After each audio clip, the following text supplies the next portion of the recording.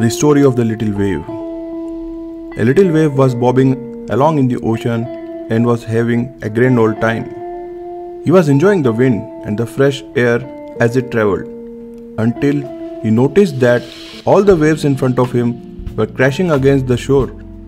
Oh my god, this is terrible, the little wave thought. Look what is happening to all the other waves, and I will have to face the same fate. When the little wave was in the state of panic, another wave came across and asked the little wave, Why are you distressed, my friend?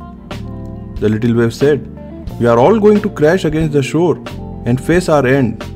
All of us waves are going to be nothing. Isn't it terrible? The second wave answered with a smile. No, you don't understand. You are not just a wave, you are a part of the ocean. Don't get worried over small things. Live life as if you are part of this whole universe.